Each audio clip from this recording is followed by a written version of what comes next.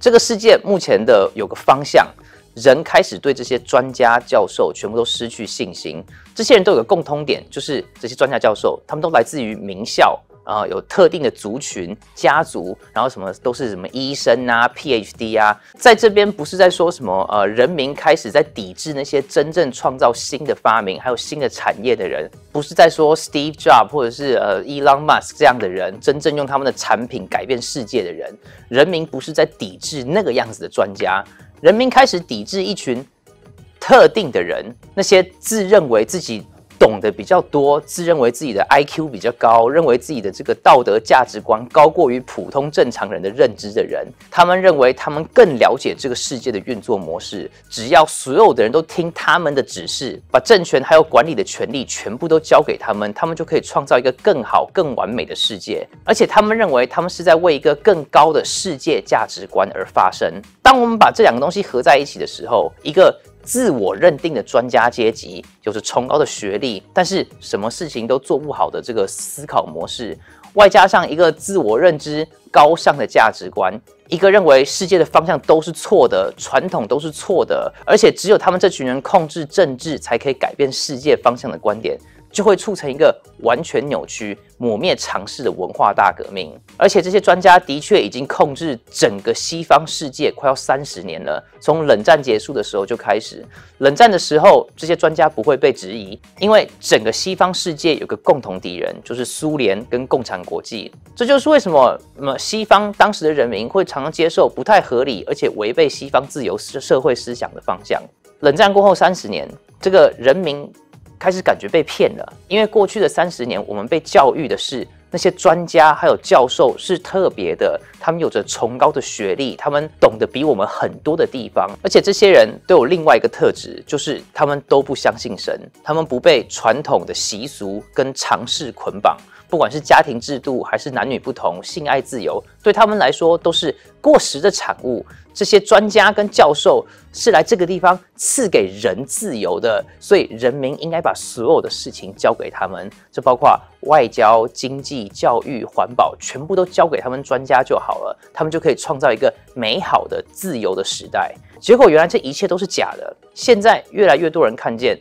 而且所有的谎言全部浮上台面。民主党现在遇到一个问题，就是为什么现在会有这么多的少数族裔开始投票给共和党？刚过的周末有一篇文章是在 The Dispatch，他写的非常棒，作者叫做 David French，真正的把目前的呃贵族系统写得非常彻底。因为这些贵族不只是把自己呃认成专家这个头衔扩大，而且他们还利用这个头衔来创造一个新的世界观。这个世界观就是一个世俗的价值，没有任何宗教信仰，不相信任何世世代代流传下来的传统跟习俗，因为他们这群人太聪明了，一切都可以用理性的思考来解决。简单的说，就是这些人认为他们比你更高级一等。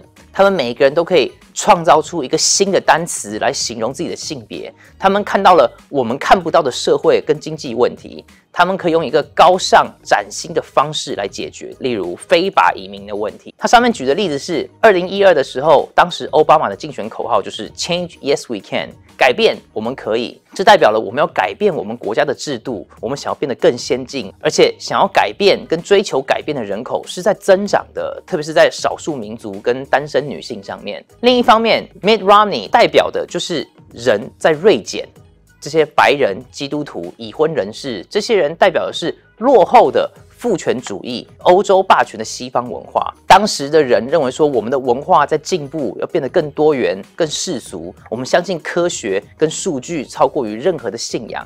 但是，这个应该是我们非常害怕的一个方向。只是我们当时不知道，没人看到。因为在历史上，任何一个政权使用种族以及民族来建立的政权，都会促成压迫、不稳定，甚至暴力。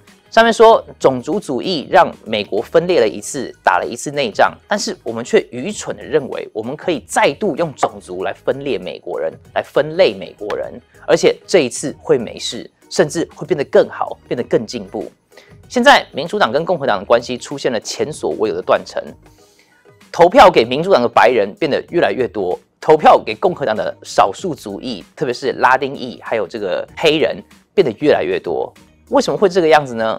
除了经济还有事实不断的显现出来，还有一个东西是不只是主流媒体，就连平常生活中都不太会被提起，甚至不能被提起的，就是宗教信仰。我们先把基督教这个信仰还有圣经的价值观放到一边。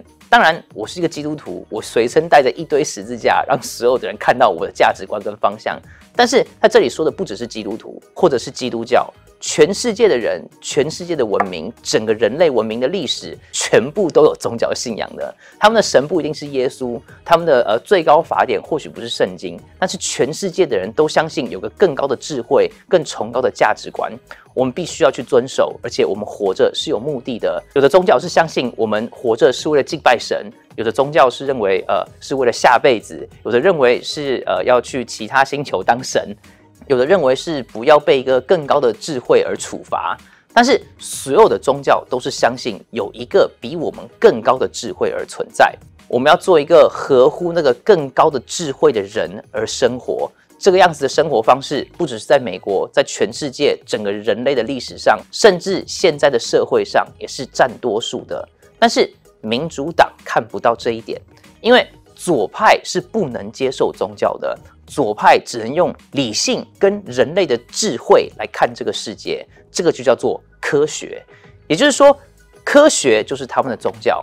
这篇文章，David French 使用了一个在二零一八年的这个 Pew Research 的统计表，这是一个美国宗教信仰的统计数字。上面不是白人的民主党人相信有神的比例，比白人的民主党人认为没有神的比例高出非常非常多。七十二趴的共和党白人相信圣经里面的神，二十二趴相信有其他的更高的智慧或者是呃能量，意思就是他们相信其他神啊，但是不是圣经里面的那个神。剩下的五趴的共和党白人是不相信有神的。那些不是白人的共和党人，这个数字几乎是一模一样，只有五趴的非白人的共和党人是不相信有任何神的。那当你看到。非白人的民主党人也是一样，只有五趴的人认为这个世界上是没有神的，但是白人的民主党人里面却有二十一趴的人认为这个世界上是没有神的。那这表示一个非常重要的事情，就是非白人的民主党人对于信仰的看法，其实跟白人的共和党人或者是非白人的共和党人差不多，而跟白人的民主党人差的非常非常多。这就是一个。很有指标性的统计数字，因为相信有神的人，在这里我们就直接说，就是圣经里面的神好了。他们的思想会比较接近，他们的价值观很多是共通的，呃，或者是比较共通。他们或许会有什么神的酷儿啊，爱同性恋的教会啊，变性人在教会里面当主任牧师啊。但是这个相信圣经里面的神是有共通点的。就是他们在某层面上的价值观是可以互通的，而且有着同一本律法，可以当做是彼此沟通的基础。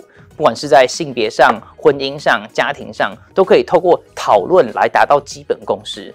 也就是说，相信圣经里面的神是可以有基础共识，而且可以有沟通管道的。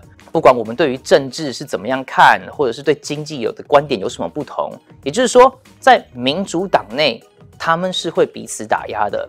你在一个左派的公司里面，就算你是个民主党人，你也投给了拜登，但是你相信神的话，你在这个公司里面讲 God 这个字是会被约谈的，是会被开除的。God 还有呃 Jesus 这些字是对他们来说是有充满攻击性的。那这个图表下方有一个更精细的统计，白人的共和党人里面。白人的共和党人里面，六十七趴的人认为神是有大能的、充满智慧的，而且是充满爱的。非白人的共和党人里面有六十六趴的人是认为神有大能、有智慧，而且充满爱。非白人的民主党人里面有六十四趴的人认为神是充满大能、充满智慧、充满爱。但是白人的民主党人里面只有三十五趴认为神是充满大能、充满智慧、充满爱。这个超过了三十趴的差距，代表了非常重要的事情，代表那些住在纽约的、洛杉矶的，还有华盛顿 D.C. 的，不相信有神以外，超过六十五趴的人是认为宗教是邪恶的，宗教是过时的，宗教是充满了分裂，宗教是充满了暴力。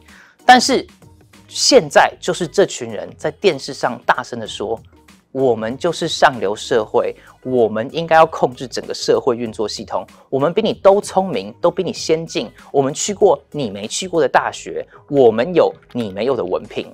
另外一个就是，的确有一个世俗教会，这个机构叫做公立学校或者是大学。为什么这是一个世俗的教会呢？因为这跟教会的运作模式，呃，或者是一个邪教的运作模式一样，你必须要把不符合你教派的人全部抓出来，然后批斗。在这个邪教系统里面，你必须要了解，而且重复那些世俗邪教领导说的话。黑命贵发生的时候，你就一定要把一个黑色正方形放在你的 Facebook 上面。如果你没有放，你就是不在乎他们的理念。骄傲月的时候，你一定要把你的 Facebook 改成这个大头贴，改成什么骄傲旗？呃，六个颜色，这个旧的骄傲旗已经不行了，一定一定要有包括什么有色人种的被压迫，然后变性人、双性人的旗帜才可以。如果你只是一个普通的同性恋，你不想要被干扰都不行，你一定要加入他们的行列，才不会被批判。这个样子的思想模式跟全世界都脱节，也跟美国本土情况脱节，但是。民主党看不到这些，他们认为他们很聪明，他们可以掌控一切，一切只要听他们的就可以创造共产主义乌托邦，呃，天上人间，人间天堂。那这里出现了一个问题，就是如果这些人的能力很强，做得很好，在他们的统治下，真的冲突变少了。经济变好了，环境变好了，治安变好了。他们指责我们这些人，就是说我们是神经病、阴谋论、信什么神呐，读什么圣经啊？其实就是呃排外主义、恐同症、呃变性人恐惧症。这样的话，呃还没有人会有这么多话可以说，或者是可以批评。但是问题就是在他们的统治下面，在他们这些精英、专家、教授、贵族的统治下面，每个地方只有变得更烂，没有变得更好。更多神经病去学校开枪，总统的家人呃吸毒、嫖妓、呃乱伦，还有贪污。我们分不清楚男人跟女人的不同。经济呃通货膨胀，造成更多的人没有家，变成流浪汉。在国际上，这个就变成了一个攻击西方的理由。很多亚洲国家、非洲国家、中东国家认为，你们西方国家有什么资格批评我们？凭什么批评我们国家的制度？我们中国人。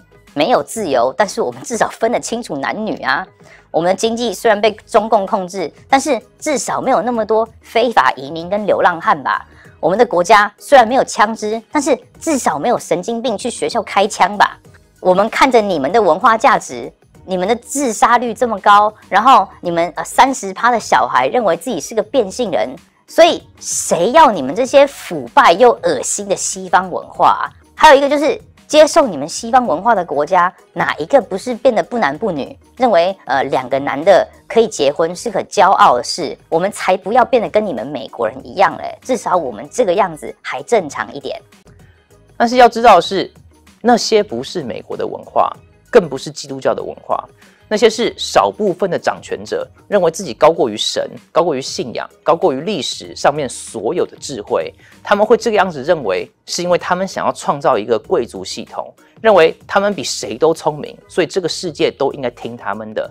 这就是为什么我这次认为保守派一定会有个大反击，美国还是会去除这些左派变态思想，然后回归正常。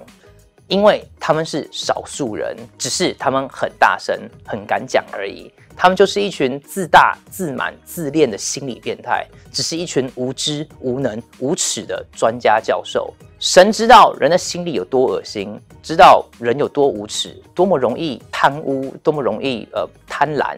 耶利米书里面说，人充满了原罪、罪孽，还有过犯。我们依靠我们自己做的事情，没有一件会是神喜悦的。这个是在形容我们，而且也是在形容我们在眼神的眼里是什么样子。所以神赐给了我们四个系统，让我们来控制我们的原罪。第一个就是他把律法刻在了我们心里，律法的武器就是良知。这就是为什么我们做坏事的时候就会良心不安，就会觉得自己好像做错了什么事了。就算法律说上面是合法的，我们也知道不应该去做。例如像加州这个地方。盗窃九百四十九块以下就算是轻罪，不会被关。但是我们就是不会愿意去做。第二个就是家庭，父母要来教导孩子，而且带领孩子把律法还有诫命放在孩子的生命里，教导孩子为什么他们要做符合他们心中律法的事情，而不是放纵自己当成一个动物。家庭的武器就是杖，权杖。一个父母的权杖是可以管理小孩的，目的不是要伤害小孩，而是要让小孩在成人之前就知道做坏事是会被惩罚的，是会有痛苦的。第三个，神赐给我们的就是政府。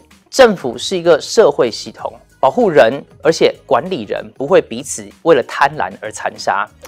政府的武器在圣经上面是剑。